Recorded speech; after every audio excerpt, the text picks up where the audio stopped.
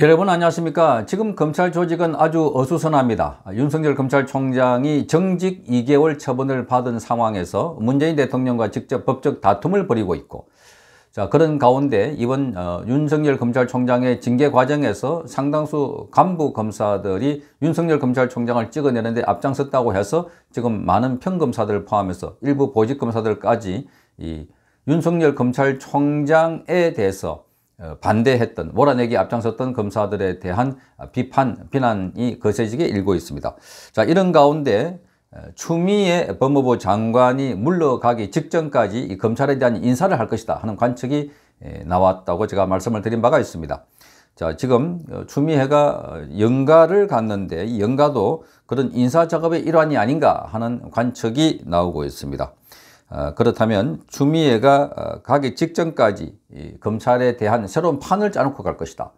자, 산을 판을 짜놓고 가더라도 본인이 인사를 못한다면 후임 오더라도 후임에게 그 인사판의 기본이 될 수 있는 그런 판을 짜놓고 갈 텐데 자 거기에 어떤 사람들이 지금 기용되고 물러갈 것인가 하는데 관심이 모아지고 있습니다. 자 이런 상황을 놓고 검찰 내부에서는 조직 분위기를 완전히 쇄신할 그런 인사가 있을 것 같아 하는 이야기가 나올 것 같고 나오고 있습니다. 한 검찰 간부는 윤석열 검찰총장이 자리에 없을 때 마치 물 만난 고기처럼 검사들을 친 어, 정권 성향 인사들로 노골적으로 갈아치울 기회다 이렇게 보고 있다고 합니다. 어, 정권과 대립하거나 마음에 들지 않는 수사를 하는 검사들이 청산 1호가 될 것이라는 전망이 나오고 있다고 합니다. 자, 구체적으로 월선 원정 1호기 경제성 평가와 관련해서 지금 이 조작 의혹 사건을 수사 책임지고 있는 대전지검의 이두봉 지검장이 교차, 교체 대상으로 거론이 되고 있습니다. 에, 지금 원전 관련된 수사를 가속화하고 있고 어, 그리고 감사원 감사 자료를 넘겨받은 이후에 어, 지금 어, 원전 관련된 인사들에 대한 어, 그 압수수색을 전격적으로 실시한 바가 있습니다. 그리고 이제는 바로 어, 그 원전 관련된 어, 직무를 맡아보던 산자부, 산자부 전 장관과 가스공사 사장에 대한 수사를 눈앞에 두고 있고 그게 끝나면 바로 어, 지금 청와대의 핵심 관계자들에 대한 수사를 더 확대할 것이다 하는 전망이 나오고 있습니다. 따라서 이 청와대로 향하고 있는 원전 수사를 꺾기 위해서라도 지금 대전지검에서 하고 있는 원전 수사팀을 대대적으로 흩어버릴 인사가 하지 않을까 이렇게 보고 있고 그래서 이두봉 대전지검장이 우선 교체 대상이 되고 있다 하는 이야기가 나오고 있습니다. 자, 이 원전 수사는 직무 배제 처분이 취소돼서 어, 이달 초에 복귀했던 윤석열 검찰총장이 가장 먼저 챙긴 그런 사안이기도 합니다. 어, 인사 이후로 수사팀이 공중 분해되고 수사의 동력이 크게 떨어질 것이다 하는 관측이 나오고 있습니다. 자, 그리고 정진웅 검사를 기소했던 어, 독직 폭행 혐의로 기소했던 조상철 서울 고검장도 어, 인사 대상이 될 것인지에 대해서 관심이 모아지고 있습니다. 이 서울 고검장 자리는 이 정진웅 검사, 정진웅 검사에 대해서 검언 유착 사건 처음에 시작했, 시작했다가 그 뒤에 채널 A 사건이라고 명명, 명명되면서 이 한동훈 검사장과 정진웅 검사 사이에 이 말하자면 육박전이 있었던 그 사건이기도 합니다. 한동훈 검사장의 휴대전화에 들어있는 유심을 압수하기 위해서 정진웅 아, 당시 부장검사가 한동훈 검사장의 휴대전화를 압수하는 과정에서 몸을 날려서 어, 폭행을 했다 해서 지금 아, 한동훈 검사장이 독재 폭행 혐의로 어, 고발을 했고 전격적으로 서울고검장이 기소를 했습니다.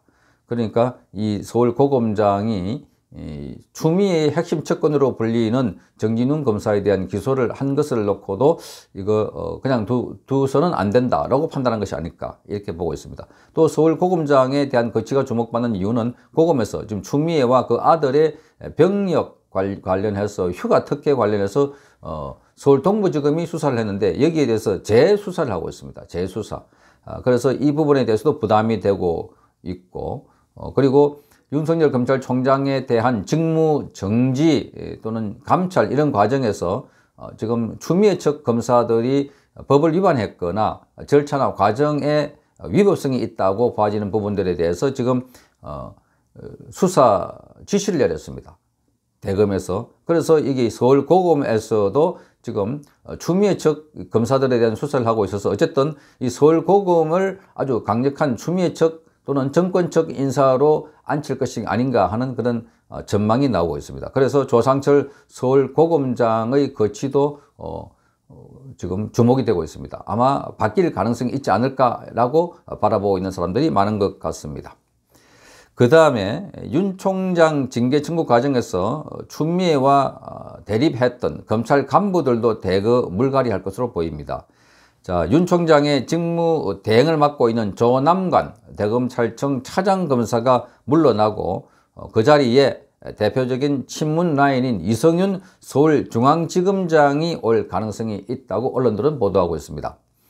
자, 이 조남관 차장검사는 당초 추미애의 척건으로 분류가 됐지만 윤석열 검찰총장에 대한 직무 어, 정지 이 과정에서 어, 이를 처리해 달라고 밝히면서 지금 돌아서는 인물로 어, 분석이 분류가 되고 있습니다. 어, 추미에 대해서도 한 발 물러서 달라 이렇게 공개적으로 요구를 했습니다. 그러면서 검찰 조직에 대한 어, 조직 지키기 또는 원칙 뭐 이런 것을 내세우면서 지금 윤석열 총장과 오히려 가까워진 사이이기 때문에 이 조남관 차장검사에 대한 인사도 있을 것이 아닌가 이렇게 보여지고 윤석열 검찰총장이 정직 처분을 받는 그날 저녁에 바로 윤 총장과 이 조남관 차장검사가 식당에서 어, 같이 식사를 하면서 후속 대책을 논의한 것으로 그렇게 알려지고 있습니다. 자, 이런 측면에서 음, 이번 일로 여권에서 어, 조 차장 검사를 믿고 맡길 수 없다 하는 그런 기류가 생겼을 것이다 하는 예, 분석이 나오고 이성윤 지검장을 대검에 배치해서 윤 총장 턱 밑에서 견제하는 역할을 할 것이다 이런 관측이 나오고 있습니다.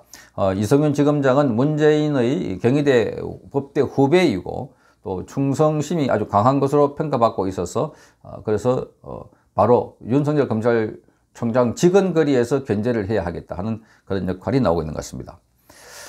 또 이번에 법무부 어, 관련해서 자신에게 뭐 반기를 들었던 법무부 류혁 감찰관의 그 지도 주목이 되고 있고 그리고 어, 지검장, 고검장 등 이 성명서를 올릴 때 간부들이 간부들이 대거 어, 성명서 이름을 올렸습니다. 윤석열 검찰총장의 직무 배제와 관련해서 그래서 이들에 대해서도 손을 볼 것이 아닌가 하는 관측이 나오고 있습니다. 자, 그런 점에서, 어, 추미애가 어, 인사를 이번에 한다면은 그 폭이 커지고 의회의 인사들이 대거 기용될 가능성도 있습니다. 어, 그동안 빛을 보지 못하고 있었지만, 그러나, 어, 자리를 주면 맹목적으로 충성하겠다는 자들은 어느 조직에 있기 때문에 그런 사람들을 기용할 것이 아닌가. 그래서 능력보다는 지금은 충성도를 우선적으로 보고 사람을 쓸 것이라는 관측이 나오고 있습니다. 자, 그런 측면에서 보면 어, 인사와 징계 이런 카드를 들고 있으면 공격 사회는 그야말로 장악되는 것이 아주 어, 수월하다 이렇게 보아집니다. 금방 뭐 자리를 주고 어, 또 인사를 조치를 해버리면 그렇게 바꿔지는 것입니다. 그렇게 해서 이 검찰 조직이 말하자면 막 방, 음, 망가지는 것이 아닌가, 정치화하는 것이 아닌가 하는 것입니다.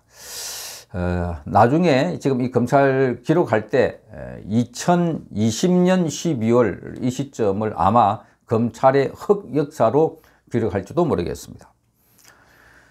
자, 그 다음에 그렇게 하더라도 아무리 법무부 장관이라고 해도 검찰총장이 공석인 틈을 타서 검사들을 마음대로 숙청하는 인사권을 휘두른다면 내부 반발도 만만치 않을 것으로 보이는데 어, 그 정도가 어떻게 될지 어느 정도일지도 앞으로 어, 관심사입니다. 어, 그리고 가장 중요한 것은 후임 장관이 누가 될 것인가. 어, 그래서 윤 총장의 징계를 주도한 지금 이용구 법무부 차관을 장관으로 발탁하는 방안이 여러 여권에서 거론되고 있다고 합니다. 어, 그리고 대구 고검장과 법무연수원장을 지냈던 소병철 더불어민주당 의원 얘기도 나오고 이 밖에 봉욱 전 대검 차장과 김인회 인하대 법학전문대학원 교수도 후보군으로 언급되고 있습니다. 어찌됐든 지금 언급되는 사람들은 검찰 흑역사에 이런저런한 역할을 해야 되기 때문에 어, 그런 저런 사람들로서도 부담이 되는 것만은 틀림없어 보입니다. 성창경 TV였습니다.